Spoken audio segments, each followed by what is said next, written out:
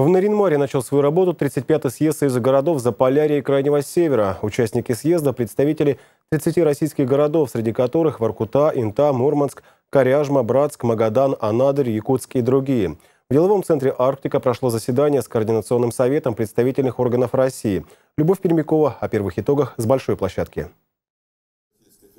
Открыл съезд президент Союза городов Заполярья и Крайнего Севера Игорь Шпектор. Затем слова приветствия прозвучали от губернатора Ненецкого автономного округа Игоря Кошина, председателя Совета городского округа Ольги Старостиной и мэра заполярной столицы Татьяны Федоровой. Поздравил участник съезда с открытием дискуссионной площадки и глава городского самоуправления города Калуги.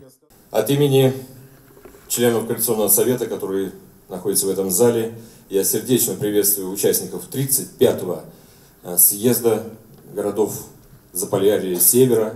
Я вот так помню те времена, когда, э, по-моему, до 30-го съезда не доходило. А тут 35-й съезд, это говорит о стабильности вот вашей ассоциации. Я желаю вам э, как бы, долговечной такой работы и продуктивной работы.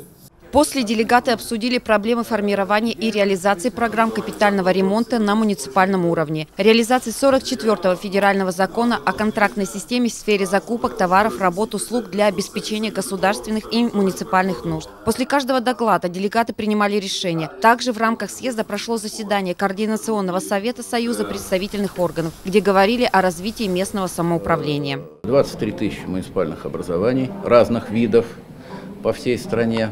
Э, местное самоуправление накрыло все просторы нашей необъятной Родины. Везде у нас есть муниципалитеты. А, сельские поселения, как муниципалитеты, 19 тысяч. То есть власть у нас находится на расстоянии вытянутой руки, как нам и э, заповедал президент Российской Федерации в декабре 2013 года. Основные цели и задачи Союза – стабилизация экономики Севера и социального положения местных жителей. Помимо прочего, сохранение уникальной природы коренных народов и их культуры. Эти проблемы Союз решает путем участия в законотворческой деятельности, используя законодательную инициативу депутатов от северных регионов, вырабатывая единые подходы на основе обмена опытом, применяя скоординированные действия городов по различным направлениям. Любовь Пермякова, Сергей Качегов, телеканал «Север».